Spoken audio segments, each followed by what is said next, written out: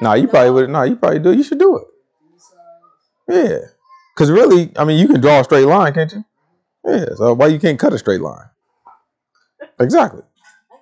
Go get the clippers real quick. Come here, do that thing on camera right here in front of everybody. Just so you know, you on you on YouTube, so you show them how to just how you line yourself up. It's a it's a what they call it, a tutorial. Yeah, nah, you good. You know what I'm saying? Just like this. Do it with your glasses on too. You know what I'm saying? You just uh, you just like cut around the frame. You know what I'm saying? You just uh, you'll be all right. I my hair. All right, my bad. Sabbath peace. It's another opportunity for us to come together and hear and learn of the word of truth that's given to us by the Most High God. All honor goes to the Father through the Son, whose name is Yahushua. In him lies the only hope for salvation. We know that it is obtained by grace through faith, but not of works, lest anyone should boast, and given freely as a gift to all who obey him.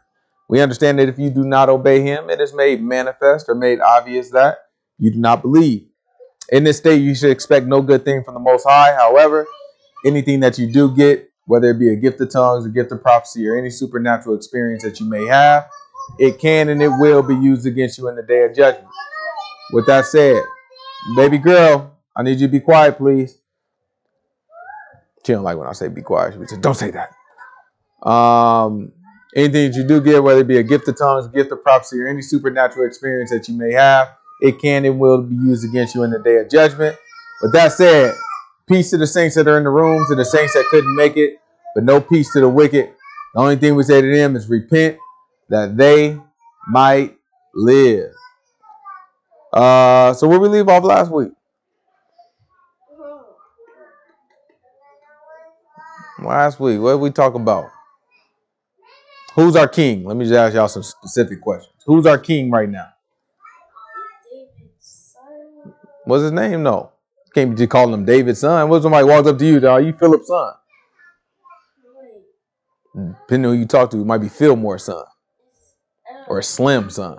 His, his last name starts with that. I mean, his name starts with the L. With the L, Lamad, What's David's son?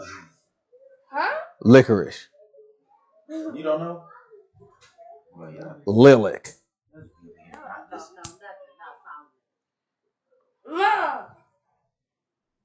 All right, so his name was Solomon. All right, so this is uh this is our King Solomon. King Solomon took over the the the, the kingdom. After he took over the kingdom, what were some of the things that David had to talk about him before he died? Y'all remember? Excuse me. Y'all remember David was having a little chat with his son before he died? What was he telling him? What was he asking Solomon to do for him? It's cooking like. Huh. Y'all remember Joab? Oh, and he said, Big Joab? Joab? Fix him? Wait. He said something. What about Shimei? The one that was throwing rocks at David. Oh, he said, um, get rid of shit. Yeah, he said, "No, you gotta deal with some of these people." All right, you remember? You met? Remember? Uh, what's his name? Uh, Solomon brother, Adonijah. You remember Adonijah? Adonijah, he wanted, you know what I'm saying? He came to mom's. He came to Solomon mom. He was like, "Yo, what? Um, Solomon, uh, saw that, um, what was his name?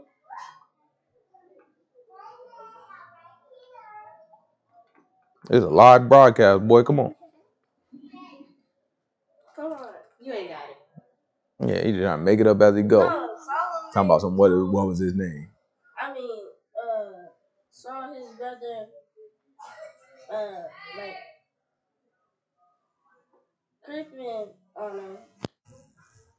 Yeah, I guess kind of. How was his brother creeping on him?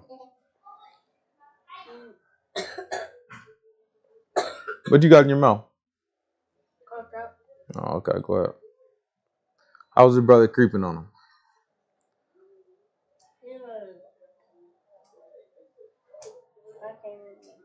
Yeah, so his brother, he was he was talking to his mom. He, he was talking to Solomon's mom, and he was like, "Yeah, can you just ask this one thing of Solomon for me?" And what he wanted to ask was, let me uh let me get you know what I'm saying? Let me get the young maiden.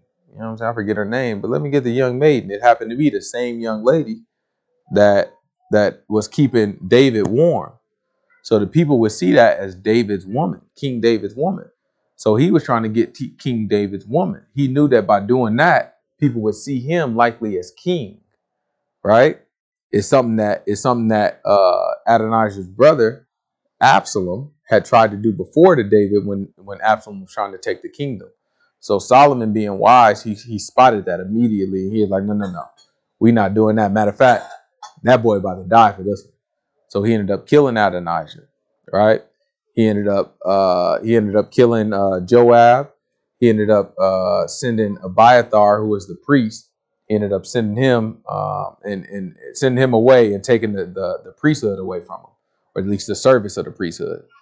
He ended up uh, he ended up putting Shimei, kind of locking Shimei in Jerusalem, and telling him that he couldn't leave. Now some years went by and he actually left. And then you know what I'm saying because he left, he killed he killed Shimei too. You know what I'm saying? Who else? Is that it? I feel like I'm missing one. You got Shimei, Abiathar, um, Joab, took care of uh, and Adonijah. took care of uh, the family of uh, Mm, that's the one we missing. Barzillai. Yeah, you know what I'm saying? And some of the folks that was looking out for uh I forget what was it? What's his name? Barzillai. Yeah, so Barzillai, who was looking out for for David when David was on the run from Absalom. Go go open. If somebody try to get you, just run. They um and get your butt up here and sit down. Sorry, boy, I didn't. I, you know saying? Forgot you down there. Um. So he was trying to look out for. He was trying to look. Yeah, who is that? Um, he was trying to. He was trying to look out for the people. I mean, he was trying to look out for uh Nana. He was trying to look out for David, and uh David was like, well, you know, David tried to look out for Barzillai as well. And Barzillai was like, man, I'm an old man. You know what I'm saying? What it look like? I can't even taste food. I can't even hear the people sing. It don't make no sense for you to try to look out for me. You know what I'm saying? Just do good for my boy here. So David told Solomon, he said, listen, make sure they got a spot at your table. His whole family. You know what I'm saying? His sons, rather. You know what I'm saying? Make sure they got make sure they got a spot at your table. Because you know what I'm saying, that's what that's what we're looking to do. Hey Nana, how you doing? I know you was over here. Huh? I said, I didn't know you was over here. I just came. What you what you okay. Um so yeah, so that's that's somewhat where we left off. It's just David instructing his son to kind of set the kingdom in order and to close out all the situations that David was dealing with back in the day, right? Back in his day, all the things that he never closed out. So now it's an opportunity for, for Solomon to come do that. He closed those things out, and that's where we ended the chapter. So let's go ahead and pick it up at uh uh second king um first kings chapter two. This is first kings chapter. Unless you want to reread. what i say? Yeah chapter three. My fault. First kings chapter three. I thought i said chapter three.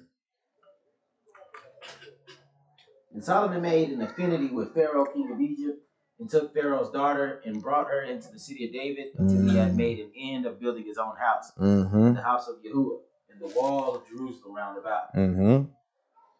Only the people sacrificed in high places, because there was no house built unto the name of Yahuwah until those days. right? So it said the people sacrificed in high places right? But our law had already instructed us don't sacrifice in high places right?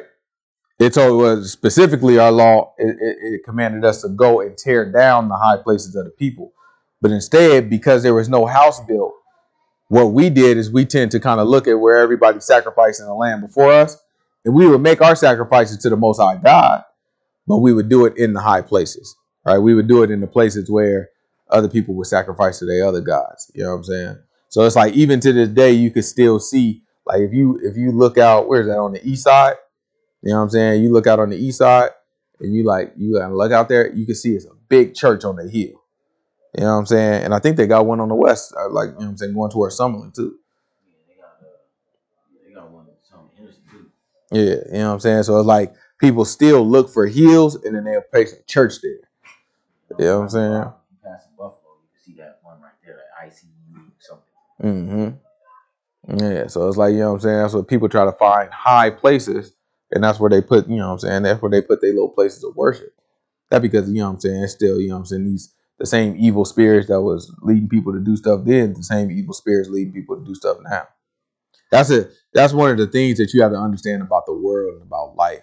You know what I'm saying? Everything is spirits. You know what I'm saying? It's not stuff that you really see. You don't really, you know what I'm saying? You don't really see it stuff that you deal with internally, but it's spirits. You know what I'm saying? Now you don't recognize when people say spirits because things have been all mysticized for us and all that. But like if you gave spirits a different name, you might call it like, I don't know, mental health. You know what I'm saying? You might call it like depression. You know what I'm saying? Like you might you might call it you might call it like an anger issue, or you might call it this, or you might call it like it's it's stuff that's been diagnosed and we've given names to it. But the reason why, you know what I'm saying, they they like they put you on medication. Like what do you what do you think medication and drugs, what do you think that is? Alcohol? Have you been drinking drugs? what hmm? Suppressant? They could be suppressants. But what it does is spiritually, right? Spiritually, what these medications do is they open your body up to spirits. Right? So you take you take medication and scientifically what it's doing is oh it's changing the chemical balance in your body and your endorphins and all these different things. That's how the scientists are explaining what's happening. What what's actually happening is spirits are interacting with your body, which triggering endorphins right? And so there's a piece of what's going on that we don't see. And all that stuff is causing things to happen inside you, right? And so we take medication to to to do one thing, right, to try to help us out, and maybe something that's happening on the other end too. Not all spirits are bad, not all spirits are good, but it's all this stuff constantly happening around us, right? And some people are more open and more prone to be under attack for a certain spirits or not because of how they were born and how they were raised and all these different things is constantly happening. But you have to understand that's why the book tells us our war is not with flesh and blood, right?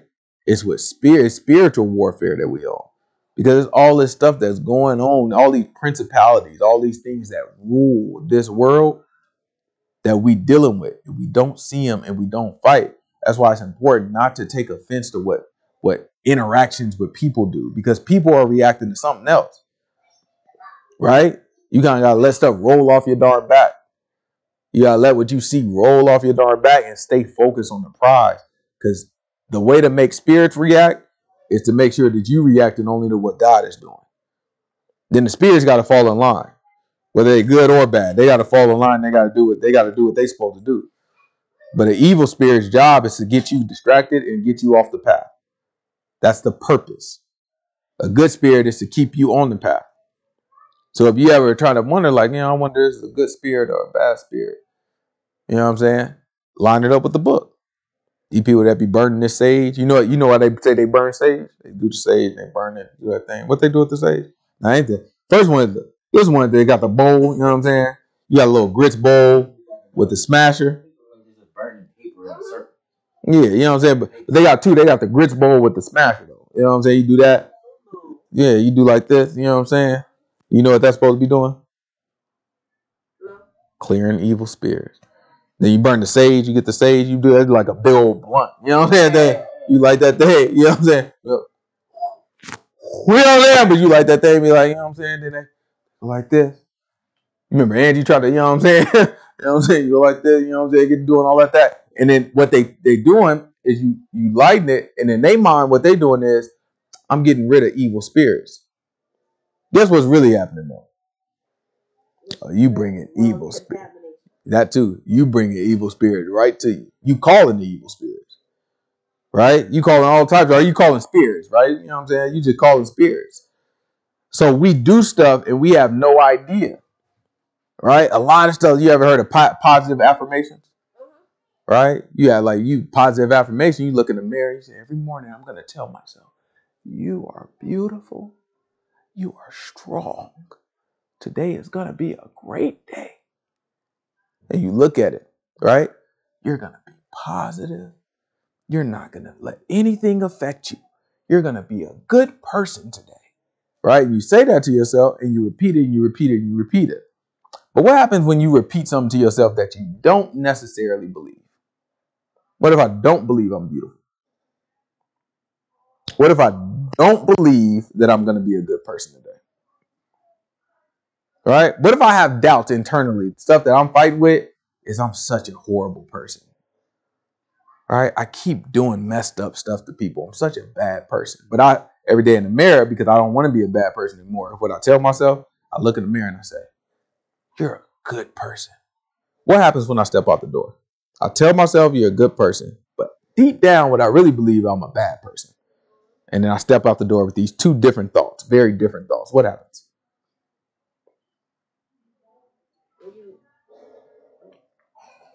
What's going to happen? Max, what do you think going to happen? How. How you think the day going to play out? What happens if it's bad? You're gonna probably come back and be like, I wasn't I wasn't good today. But the expectation that you set for yourself this morning was, I'm going to be a good person. You know where we go crazy? You know what I'm saying? Or mental health, or we get depressed, or whatever, you know what I'm saying? Whatever, you know, the word we want to get. They got a new one now. They say overstimulated. You know what I'm saying? Y'all heard that one yet? Y'all heard overstimulated? I'm just overstimulated. Right? They got all these little phrases to describe, but you know what's being described? It's the distance between reality, what really happens, and the expectation that we have. The wider that wider that distance is, right? The wider the wider it is what I expect versus what really is going to happen, the harder it is for us to deal with mentally. And so the more that we tell ourselves that it's something that we don't actually believe, and then we go out with that expectation, but what we actually believe is what turns out to be the case, right? I'm gonna have a, I'm gonna be a good person today. But you know what? I haven't done anything to change my behavior. So when this person come up to me and he say something to me, guess what? I'm gonna cuss his butt out. And when I see this uh, opportunity to take from that person, guess what? I'm still gonna take. All these are the same things to kid- contribute to my idea of me not being a good person. I haven't dealt with any of the behavior, but guess what? I'm gonna tell myself today I'm gonna be a good person instead of saying I'm no longer gonna steal, I'm no longer gonna cheat, I'm no longer gonna lie, even if it hurt me. Right? I'm gonna tell the truth. I'm gonna be good. I'm gonna do what I'm supposed to do because that's the law, and I'm gonna hold myself accountable when it happens. And then plan for when it don't happen. If it don't happen, I'm gonna do X, Y, and Z. If it do happen, I'm gonna do X, Y, and Z. Now your expectations are close to reality. You're not only hoping for one thing. You you you assessing for all options. That's how you keep yourself sane. That's how you keep. When I say sane, that's how you keep spirits from penetrating and bring you into what people are calling depression, overstimulation, and all these different things that we calling it. All it is is spirits ruling us. It's emotions, right? Emotions are spirit. So it's spirits ruling us and calling us to do something. You ever been really happy and did something stupid? Right? You just get super happy. You don't even care nothing about anybody else. Oh, I love you so much. And then do something stupid. It happens. That's a spirit too. It don't matter if it's a good emotion or a bad emotion. All of them can cause us, if we're not grounded in reality, it can cause us to do things we don't we don't want to do or that we wouldn't do otherwise. That's why it's important. You have to ground yourself in truth. You have to ground yourself in principle. Because when you do that, now you're not you're not you're not you're not just you know what I'm saying distracted by anything that's happening around the world. You know what I'm saying? You focus on something very specific. All right, keep going. Watch this. And Solomon loved Yahuwah, walking in the statutes of David his father. Only he sacrificed and burnt incense in high places. Mm-hmm. And the king went to Gibeon to sacrifice there. Mm-hmm. For there, for that, for that was the great high place. A thousand burnt offerings did Solomon offer up on an altar, on that altar. In Gibeon, Yahuwah appeared unto Solomon in a dream by night. And God, and God said, "Ask, what shall I give thee?" Right. So in Gibeon, Yahuwah appeared unto uh, Solomon, and it was nighttime. And Yahuwah asked him, he is like, "Go ahead and ask me for something, and I'll give it to you. Go ahead and ask me what I what I should be giving to you, rather." Right? Let's see.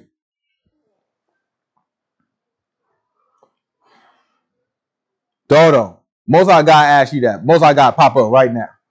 Right? And he just speaks to you, you hear him, so you know it's him too. Most I God pop up to you. He say, ask me for something that you think I should give you. What you say? What you gonna ask for? A better life? Okay. What you gonna ask for? Well, that's funny. what you gonna ask for? What you gonna ask for, Zahar? A house? What you asking for? You don't know? What you ask for, Ezri? You know.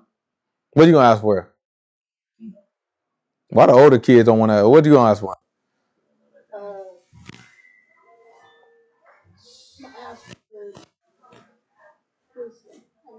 Wisdom. What you gonna ask for, TJ? Help your mom. What you gonna ask for? You said better life. What does what does that mean? What's a better life? What do you mean, though? Don't be giving me the answer that I, you think I want to hear. I want to hear what y'all would ask for.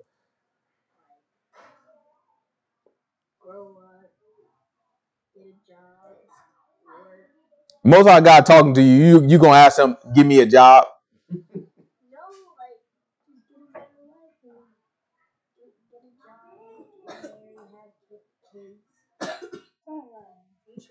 What in the world is this about? You gotta, all right. Well, I ain't gonna judge your ass now. You know what I'm saying? You ask whatever you want to ask, I guess. Right? Look at what, look, look, you know what I'm saying? We about to look at what Solomon asked for.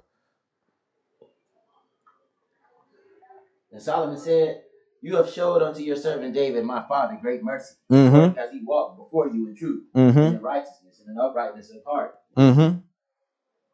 You have kept for him this great kindness. You have given him a son to sit on his throne as it is this day. And now, O Lord my God, you have made your servant king instead of David my father, and I am but a little child. Mm-hmm. I know not how to go out or come in.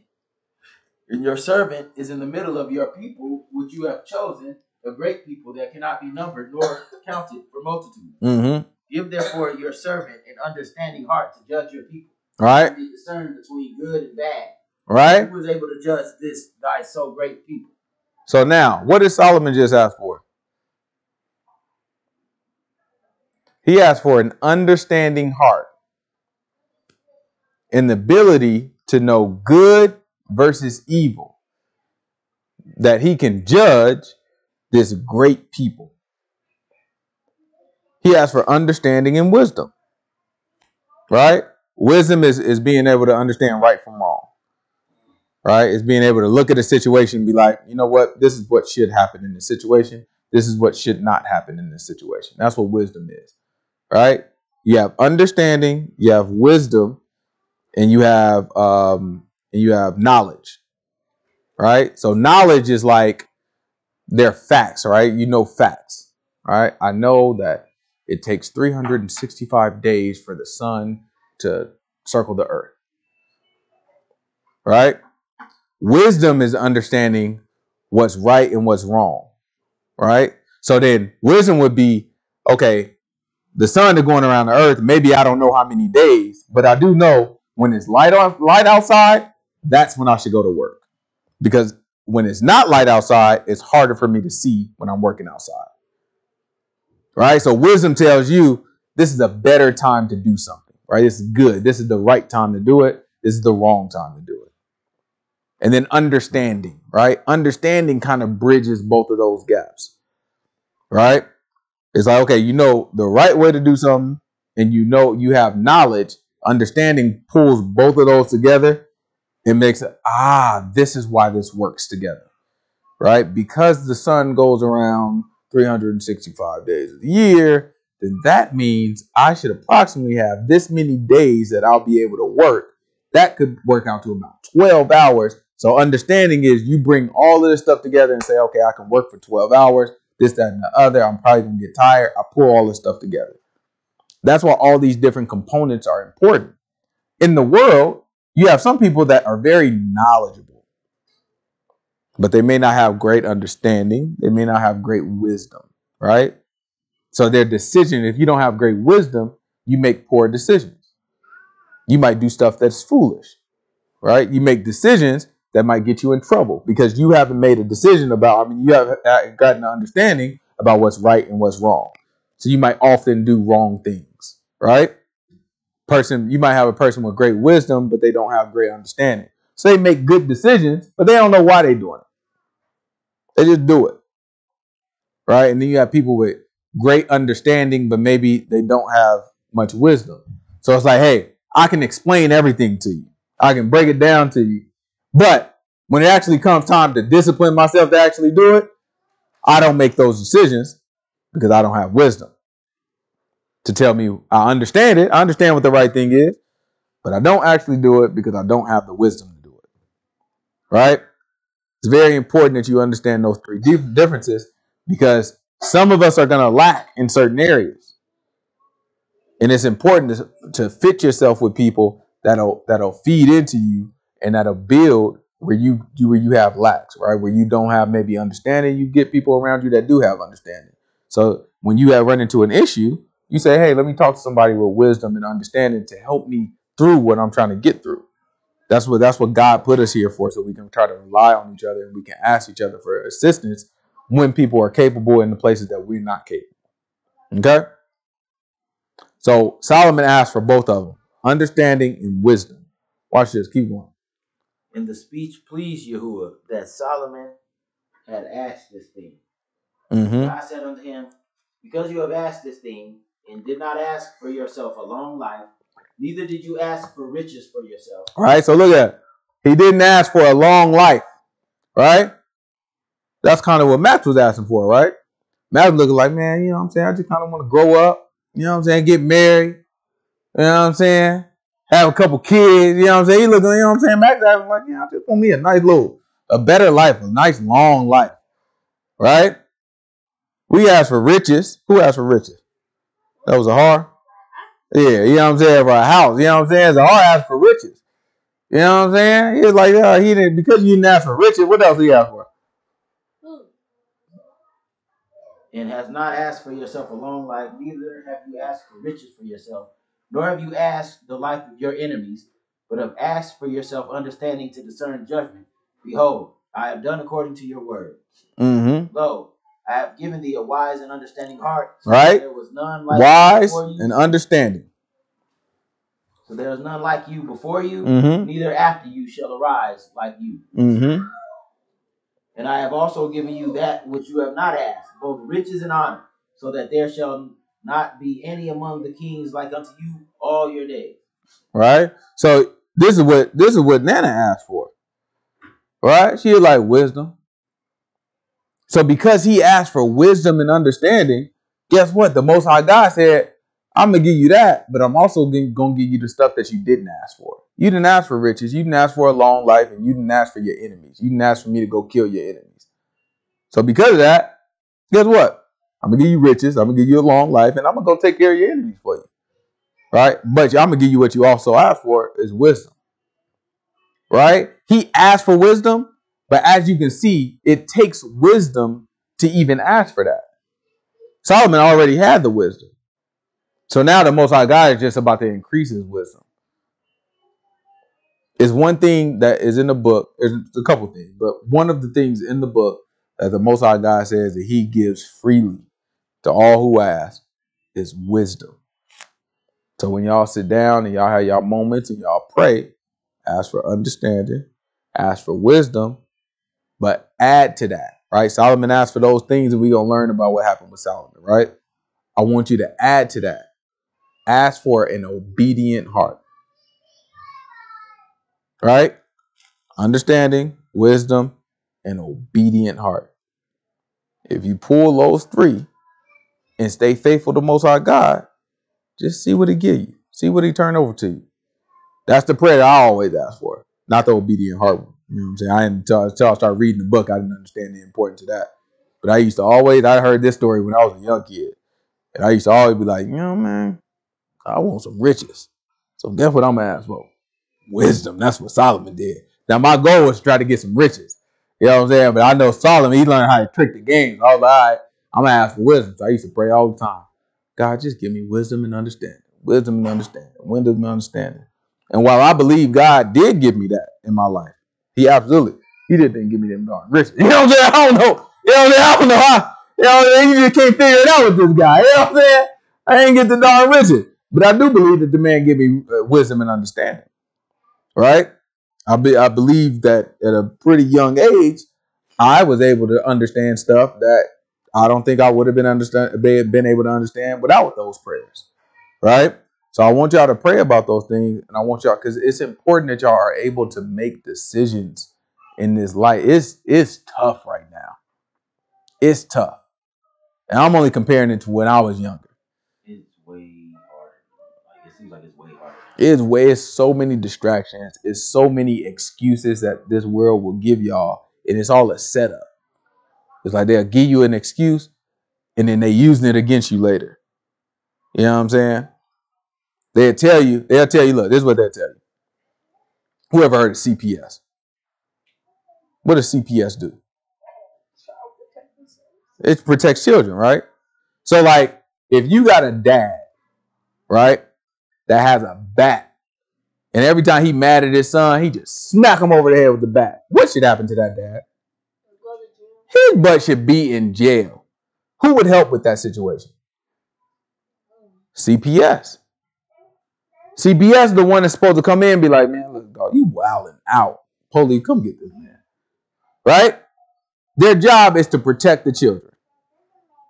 Now, you have a dad that has a belt, like me, right? I'll whoop across that darn butt, pow, pow, pow. What might CPS do? Nothing.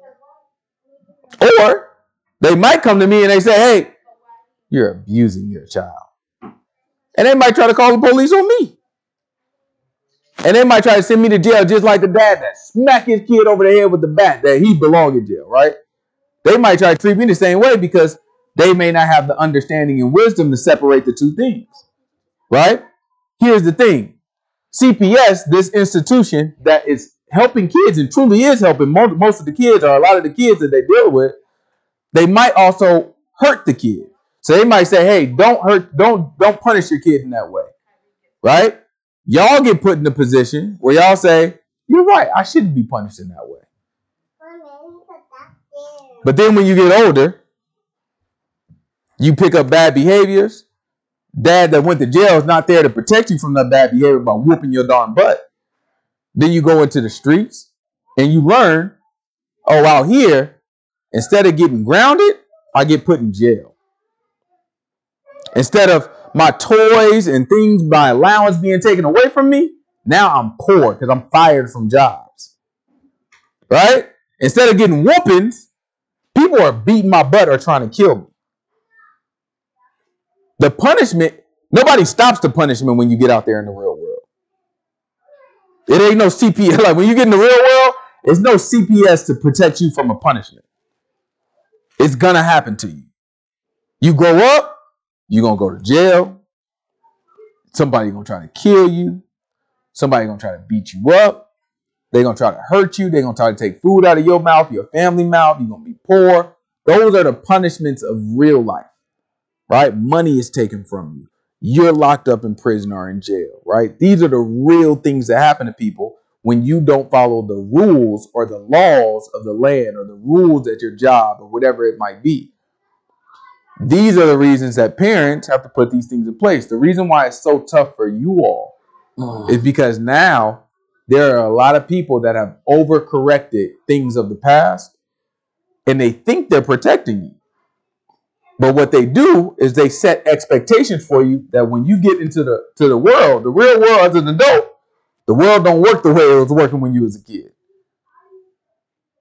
And so now the punishments that you avoided as a kid are tenfold as an adult, and there's no one to protect you from it. In fact, there's no one even interested. All this protection you got as a kid, you see none of it when you're an adult. So now it confuses you because it goes back to the expectation. Your expectation is, hey, everything in the world should function the way I think it's supposed to function. Right? People are supposed to say the right things to each other. People are always supposed to say sorry when something happens. Just that you start to set up all these expectations because people are protecting you from reality. And then you reach reality and all that. You turn 18, 19, everything moves. No more protection. And the world just start hitting you. It's not fair that I'm not making as much money as this person. It's not fair that I can't be who I want to be. It's not fair that all these things are happening and the whole world looking at you like, boy, if you don't clock in for darn work, you fired. Get out of here. It's not fair that I got fired from my job and nobody listening to you. Now you on the street. Hold on. It's not fair that I got fired. Can I have a couple dollars? Then somebody say something to you. Like, boy, if you don't, why don't you go to work? I did go to work. Who you talking to? Bow! Punch you in your darn mouth because you thought you could just talk to people however they wanted to talk to. It's not fair. I was just saying words. You ain't fair. You punch me in my face. Right? This is life. This is real life. So what our job is is to prepare you for real life. Prepare you to not have any excuse. What I tell you all the time? No excuses. No excuses. I tell you the same thing. No excuses. Right? I don't really care what happened to you. I don't really care if you leave your backpack. What I tell you?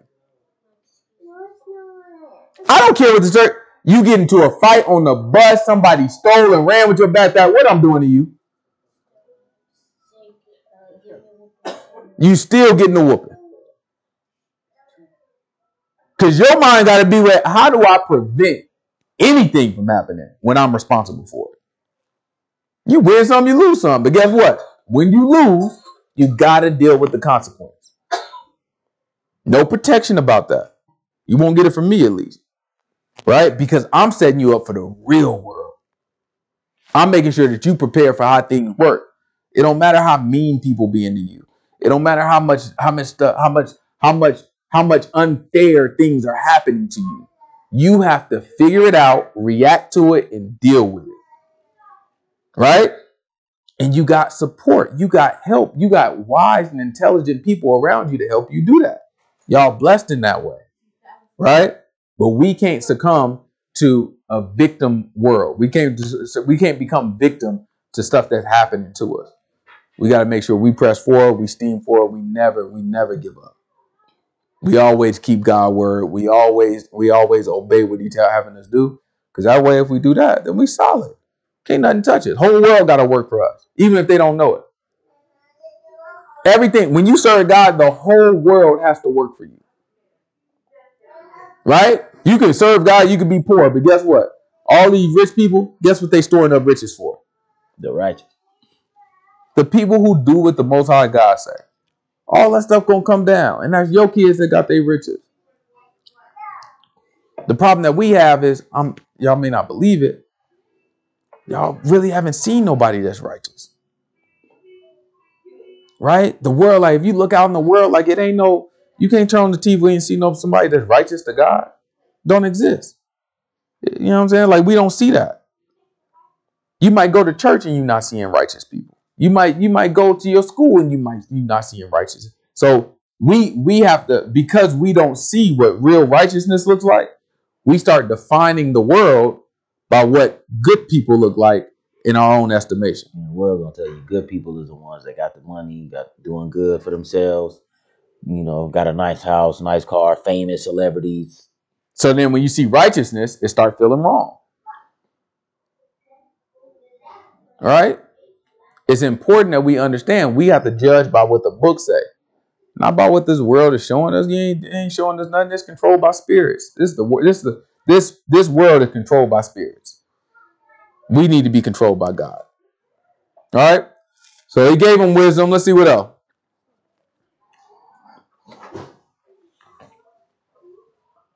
And if you will walk in my ways to keep my statutes and my commandments, as your father David did walk, then I will lengthen your days.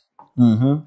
And Solomon awoke, and behold, it was a dream. And he came to Jerusalem and stood before the ark of the covenant of Yahuwah, and offered up burnt offerings and offered peace offerings, and made a feast to all his servants. Mm-hmm. Then came there two women that were harlots unto the king, and stood before him. All right, now watch this. It's two women that are harlots, right? When the book say harlots, that means that they had sex and they weren't married. All right, so these are women that had sex and they weren't married. Harlot is like saying whore prostitute, right?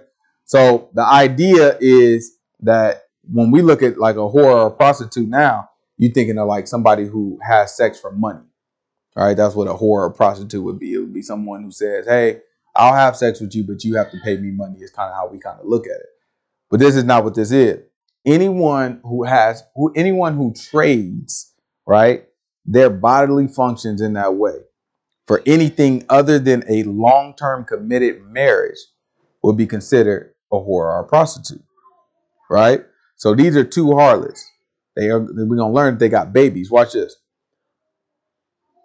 And the one woman said, Oh my lord, I and this woman dwell in one house, Mm-hmm. and I was delivered of a child with her in the house. Mm-hmm. And it came to pass the third day after that I was delivered, that this woman was delivered also. Mm-hmm. And we were together. There was no stranger with us in the house, except we two in the house. Right. So they was pregnant at the same time. One had a baby. Three days later, the other had a baby. Wasn't nobody else in the house because they they they harlots, right? So they don't have men that that kind of married them and stayed with them. So they just left with their own babies.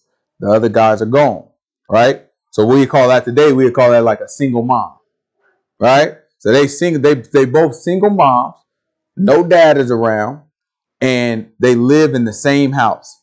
They got young babies. One baby is three years old or three days old when the other baby was born, right? So they three days apart. They babies, both little infants. Watch what happens. And this woman's child died in the night because she overlaid it. right? So she's looking like my baby, cool. She slept with her baby. She rolled over, and when you say overlaid it, she rolled over on the baby and killed the baby on an accident. So she's telling you her baby died. My baby is good. Watch this. And she rose at midnight and took my son from beside me while thy handmaid slept, and laid it in her bosom, and laid her dead child in my bosom. Right? So then she's saying, I'm accusing this woman of switching our babies out when I was asleep. She accidentally killed her baby. She woke up. She put her baby by me, and she took my baby, who was alive, and she put it. Right? Let's see.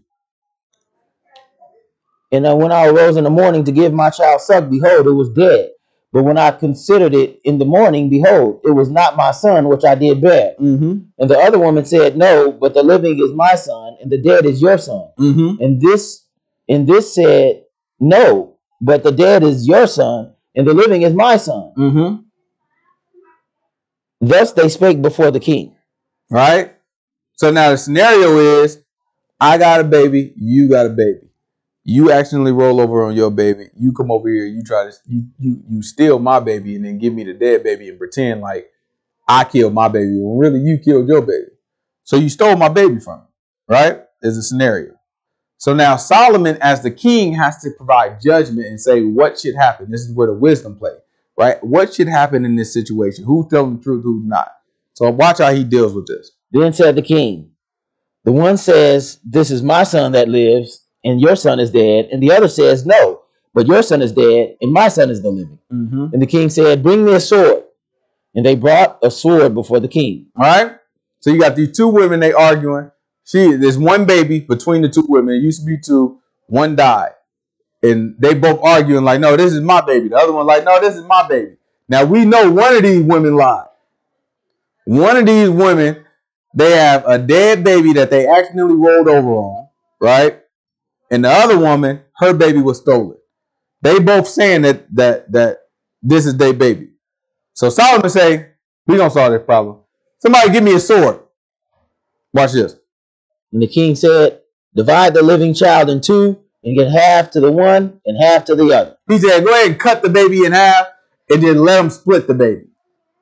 I'm going to kill the baby. I'm going to cut the baby in half. You take half of the baby. You take the other half of the baby. Right? That's how he going to solve this problem. Watch this. Then spake the woman whose the living child was unto the king, for her bowels yearned upon her son. And she said, O my lord, give her the living child, and in no wise slay it. But the other said, Let it be neither mine nor yours, but divide it. Mm-hmm. And the king answered and said, Give her the living child, and in no wise slay it. She is the mother thereof. Right? So one of them was like, because she lost her baby, she was like, yeah, well, that, that's fair to me. Then the other one was like, no, no, no, it ain't even, it ain't necessary. Just let her keep the baby. If you got to kill the baby, just go ahead and keep it. So King Solomon looked at that and say, that got to be the mama. Because the mama, this my baby. I would prefer that somebody else take care of my baby than my baby be killed. Right? That's the mindset that we've had. So he said, okay, well, that's the person that deserved the baby. Why does that type of logic work? Why would that wisdom work? Because you, you see how we see in our culture how moms was about their children. He looking at how the mom is for the child. The when you look at things at a principle level, right? When you look at when you look at things with wisdom, you look at it at a principle level, right? So you go past the the surface, right? You have people arguing at the surface. Well, no, this no, I slept this way and this that. No, I didn't steal your baby. This that another. You can't prove none of that. It wasn't the camera to show you. You can't prove it. So now, what matters most for a baby and a mom? Is that the mom is willing to take care of the baby and the mom puts that baby's life above her own. Right? So he asks a question and say, okay, I'll kill the baby and y'all can split the baby. It doesn't matter at this point who is the biological mother. If one mom is saying, no, it's not that serious, just let the kid live, and the other mom is saying, nope, that's fair, go ahead and kill the baby then. It uh, that may, let's say that is because we go moms that get abortions all all the time, right? So maybe that was the biological mom. At this point, it doesn't matter. The better mother for this child is the one who wants to keep it, right? The one who wants this child to live. So at this point, it's a win-win scenario because I'm looking at it at a principle level. I'm not looking at it at the surface. I'm not having an argument about details that don't really matter, that can't be proven. At the bottom line, what matters most in this scenario is the baby needs someone that cares about it. Okay, good. You want the baby to live, it goes to you. Right? That's what wisdom does. Wisdom is not trying to figure out details that that can't be, you know what I'm saying? Like you can't prove it, it don't matter. It no no no. Wisdom what's the bottom line? How do we get to it? What's the most accurate way to get to that bottom line? Right? So that's an example of Solomon's wisdom and how kind of the way he would he would solve some of the problems that he came across. Let's keep going. And all Israel heard of the judgment which the king had judged, and they feared the king, for they saw that the wisdom of God was in him to do judgment. Mm-hmm. So King Solomon was king over all Israel, and these were the princes which he had.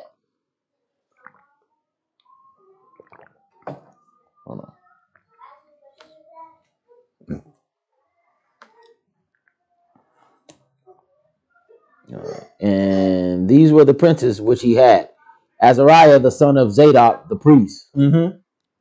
uh, Eliph, Eliphareth, Mm-hmm. Eli, Eli Horeth, and Ahiah, the sons of Shaisha, Mm-hmm. scribes, Jehoshaphat, the son of Eli, Elihu, the recorder, and Benaiah, the son of. Shh, be quiet. Go to your brother.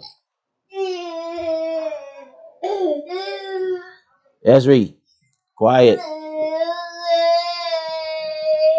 TJ, take her in the room and find out what's wrong with her.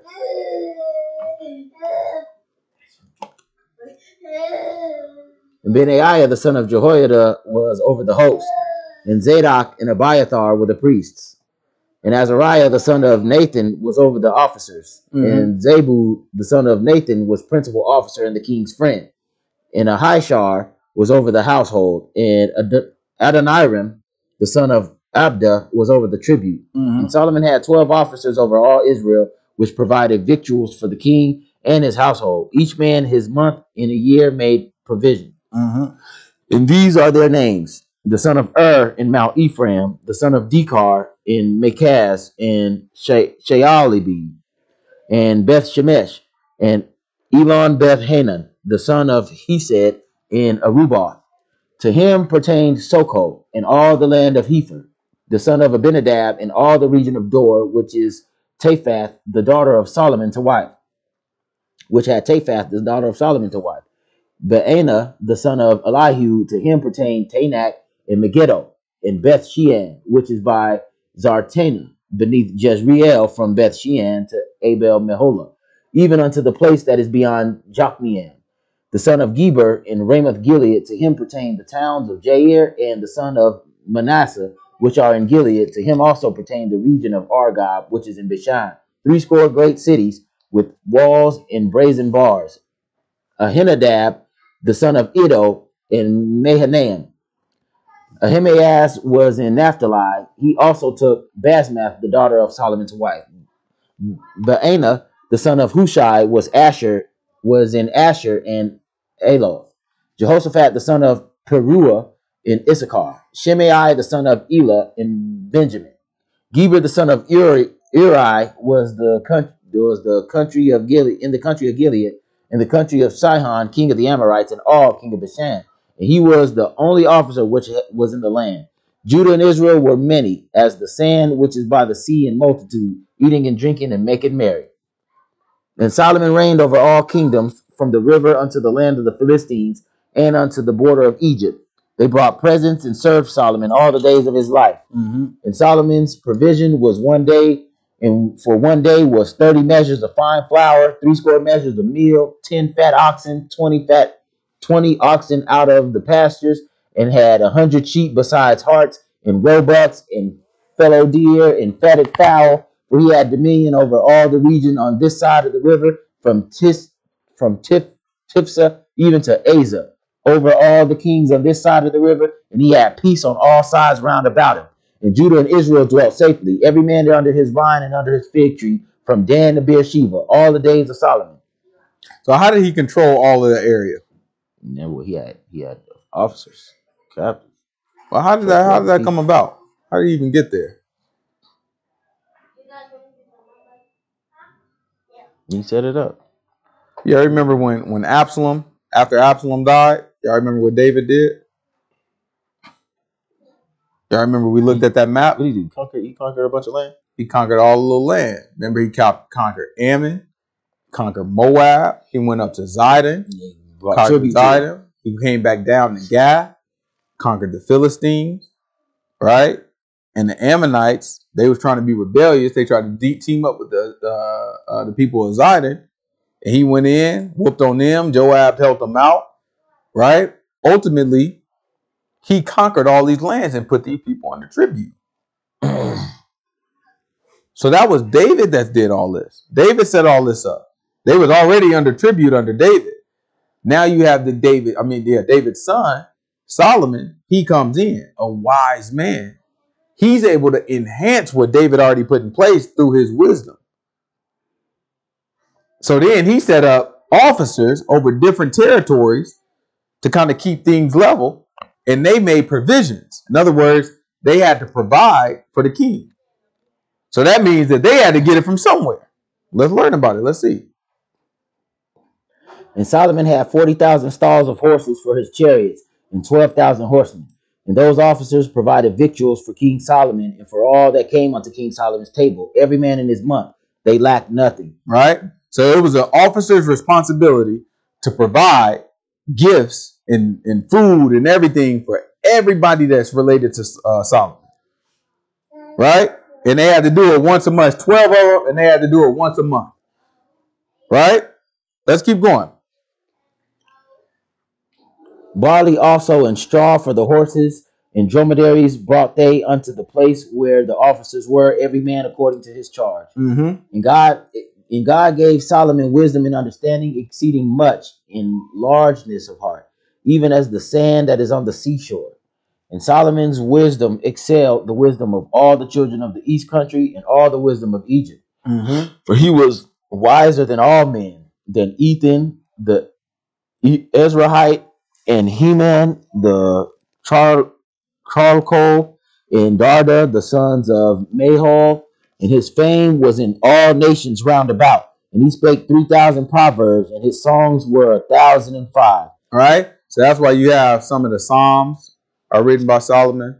You have a whole book of Proverbs. Most of that is written by Solomon. And the song of Solomon. You got the Songs of Solomon, and then you also got Ecclesiastes. Uh, uh, no, Ecclesiastes is written by Jeremiah. No, no, it's Ecclesiastes Solomon. uh, written by Solomon. I'm thinking about Lamentations. Yeah, Ecclesiastes Yeah. by Solomon. So you have Ecclesiastes also written by Solomon. Ecclesiastes low key changed my life. Yeah. You know what I'm saying? So these are these are all books of wisdom that are in this Bible that are all written by this man Solomon. All right. He, he plays a part in writing all these books, uh, all written by this man Solomon. Right. So he's a very wise man and he shared his wisdom. He shared his knowledge. All right, let's see. Keep going. And he spake of trees from the cedar tree that is in Lebanon, even unto the hyssop that springs out of the wall. He spake also of beasts, and of fowl, and of creeping things, and of fishes. And there came of all people to hear the wisdom of Solomon from all kings of the earth which had heard his wisdom. Right. So you think of him like a scientist, right? He was able to explain her like a teacher, right? A teacher of science. He was able to explain, hey, this is how the trees work. All right. This is how the sap that comes out of the trees, this is how that works. This is how the birds, and it's, uh, like he would just explain how things work in the world. And people, because he was so smart, people from all around the world would come and try to learn from him. They'd be like, oh, this, that, and other. Right? A lot of the knowledge, they never gonna give us credit for it. But a lot of the knowledge in the world came from Solomon. It came from it came from the things that we were doing. Right? Came from Hebrews, period, but came from Solomon. Right? Keep going. Watch this. And Hiram, king of Tyre, sent his servants unto Solomon, for he had heard that they had anointed him king in the room of his father, for Hiram, Hiram was ever a lover of David. Mm-hmm. And Solomon sent to Hiram, saying, You know how that David my father could not build a house unto the name of Yahuwah his God for the wars which he were, uh, which were about him on every side, until Yahuwah put him under the soles of his feet, Mm-hmm. put them under the soles of his feet. But now Yahuwah my God has given me rest on every side, so that there is neither adversary nor evil occurring. And behold, I purpose to build a house unto the name of Yahuwah my God, as Yahuwah spake unto David my father, saying, Your son, whom I set upon my throne, on your throne, in your room, he shall build a house unto my name. Now therefore, command thou that they hew me cedar trees out of Lebanon, and my servants shall be with your servants, and unto you will I give hire for my servants, according to all that you shall appoint. For you know that there is not among us any that can any that can skill to hew timber like unto the Sidonians. Mm-hmm. And it came to pass when Hiram heard the words of Solomon that he rejoiced greatly and said, Blessed be Yahuwah this day, which is given unto David a wise son over this great people. Mm-hmm. And Hiram sent to Solomon, saying, I have considered the things which you sent for sent to me for, and I will do all thy desire concerning timber and cedar, and concerning timber of fir. My servants shall bring them down from Lebanon unto the sea, and I will convey them by sea in floats uh, upon unto the place that you shall appoint me, and will cause them to be discharged there. And you shall receive them, and you shall accomplish my desire in giving food for my household. So Hiram gave Solomon cedar trees and fir trees according to all his desire. And Solomon gave Hiram 20,000 measures of wheat for food to his household and 20 measures of pure oil. Thus gave Solomon to Hiram year by year. And the Lord gave Solomon wisdom as he promised him. And there was peace between Hiram and Solomon, and they two made a league together. And King Solomon raised a levy out of all Israel, and the levy was 30,000 men. And he sent and he sent them to Lebanon 10,000 a month by courses. A month they were in Lebanon, and two months at home and Adoniram was over the levy. And Solomon had 70,000 that bear burdens and 60,000 hewers in the mountains, besides the chief of Solomon's officers, which were over the work. 3,300 which ruled over the people that wrought in the work. And the king commanded, and they brought great stones, costly stones, and hewn stones to lay the foundation of the house. And Solomon's builders and Hiram's builders did hew them. And the in the stone squares, so they prepared timber and stones to build the house. Right? So if you look at what just happened, Solomon made a deal with Hiram. So remember, we talked about King Hiram. This is the one that the Freemasons would, would suggest that, you know what I'm saying, he, he designed the temple. But no, we see exactly what he did. Just provided the, the timber. What he did is, and, and that not even just provided it, they just made a deal. Mhm. King Tyler's like, yo, I mess with your daddy. Well, actually, it's the other way around. Solomon's like, yo, I know you mess with my daddy. I need something from you. King Tyler's like, nah, you know I did mess with your daddy. You know what? That's a good little deal. You send me the food and the oil. I'm gonna send you the the the, the trees. Cause Solomon told him, like, listen, man, look, Ain't nobody I out trees like look, I done been around a few places. The way y'all boys cut some trees, boy, You know I'm saying? Now y'all can cut a tree. You know what I'm saying? I'll tell you what. I'll send you some wheat, some oil. Year by year, you know what I'm saying? Would you say? This much? I ain't, I'll give you put a little bit of more on it then. I think it's cracking to be employed by Solomon. Like, you know what I'm saying? We got like two two months at home, go go work for a month. Mm-hmm. Then, you know what I'm saying? He is like, Tyre said, okay, look, I'll do you one better. I'm gonna put the wood on floats. I'm gonna send it down down the sea to you, and you pick it up off of the border, and you bring it in. Easy money. That way you ain't gotta be have people carrying it from way up north all the way down. That's a big, that's a huge walk. So they had this little system that they working. They set up a bunch of people, hey y'all the workers. They set up some men to be over the That's workers. creating jobs. Like man, every time when they create jobs, like no, no, There's a These creative boys job. jobs. Yeah, like 20, 30,000 workers and 3,000 managers. trying to get stuff done. Yeah. But they're becoming a rich nation. They also collecting taxes from other places, Mhm. right?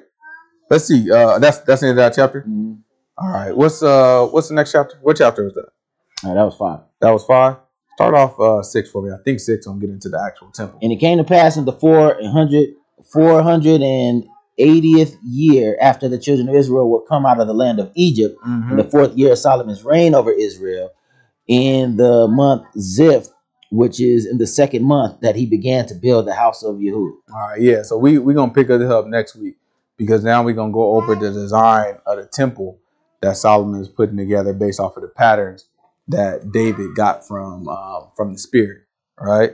So um, we'll pick that up next week. We'll talk about the temple. We'll talk about how Solomon blesses the temple. We're gonna go over his prayer in detail. We're gonna talk a little bit about prayer, right? So that y'all understand the importance of prayer. It's not something that we talk about a whole lot here. You know what I'm saying? We pray every time, but it's not something that we talk about. The understanding how prayer works, the importance of prayer. So we're gonna dig into that a little bit next week. Any questions? All right, well, let's pray out.